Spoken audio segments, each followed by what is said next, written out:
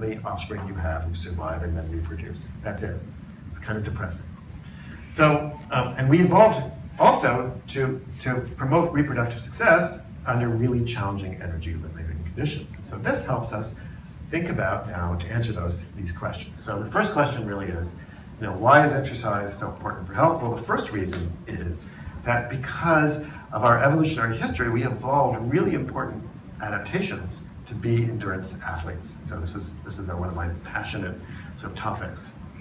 And a, this is a long and complicated story, but I'm going to simplify it ridiculously to just a few slides. But um, we can start the story around six million years ago when we uh, diverged from our ape ancestors, and, and we're more closely related to chimps than to gorillas. And there's a lot of evidence, there's a lot of debates about just the nature of that last common, last common ancestor, but I won't go to my grave uh, believing that that last common ancestor was probably pretty chimp-like. It was a forest-dwelling ape, primarily ate fruit, it was probably a knuckle walker, um, and it was, um, and like other apes, it was good at speed and power and had almost no endurance. Right? If you ever want to wrestle a chimpanzee, don't. But if you want to race a chimpanzee over a long distance, you'll be fine.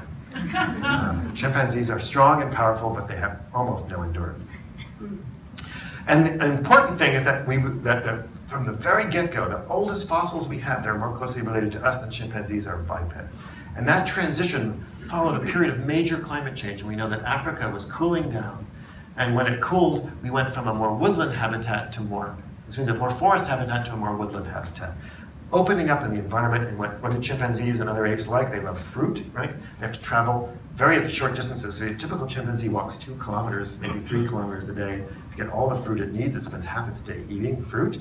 But, um, but as you live in a more open woodland environment, you have to travel farther in order to get the same amount of fruit. We know these creatures were still, well, were still fruit eaters, and so these first hominids appear to be bipeds, and we have pretty good data. So my team did some of this work. We actually got chimpanzees that were uh, retired from Hollywood, had actually been previously abused as chimpanzees, and we actually can, uh, convinced the chimpanzees, asked them really, to wear oxygen masks, so this is no coercion here, and measured their oxygen consumption.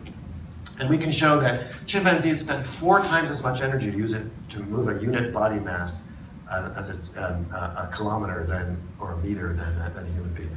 So one of the big advantages of being a biped is that as, as those environments open, that you have to travel farther to get your food, being bipeds enable us to do that much more efficiently. It's a huge amount of energy. It's obviously a big selective benefit.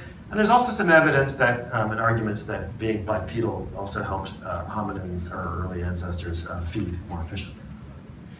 Okay, fast forward a few million years, again, I'm whizzing over a lot of complicated data. Um, more environmental changes occurring. This is again that graph before. This is time um, on the x-axis. This is temperature of the Earth's planet, um, down to Earth's uh, environment. And, and during this period, between starting around 2.8 million years ago, we know the Earth started cooling again rather dramatically. This had major effects in Africa, again, causing more drying out of Africa. In particular, we have the opening up of all of these grassland habitats. And if you're standing out there two million years ago or two and a half million years ago, wondering what to eat for dinner, and you have you have ape ancestry, and you're, you're trying to look in this landscape what to eat, what's the obvious thing to eat in this landscape? It's the zebra. so what happened was, and we know this pretty well from the evolutionary record, is there were two responses to these shifts. One was a group of hominins, which thankfully are not our ancestors and they went extinct. They're called the robust Australopithecines, and these are like cows on legs. They basically became adapted for eating really low quality diets. And uh, they lasted around 1.2 million years ago. They're gone. You don't have to worry about them. They're not your ancestors, they're your cousins. Our ancestors are the genus Homo, and we started going for the good stuff. Right? We became high quality food specialists. Um, and, they, and, we first started figuring around 2.8 million years ago. And really what this is about is the invention of a novel way of life called hunting and gathering, right? Which is not just, not just hunting and gathering, although that's very important, that gathering tends to be extractive foraging. So instead of just you know, picking berries off plants, you're actually often digging for stuff. You're getting honey, you're getting resources that are high energy but not necessarily easy to get. But it also involves lots of cooperation. You can't make the system work unless you have food sharing and, and pair bonding. And also you require tool making and food processing. And you can't make the system work without that.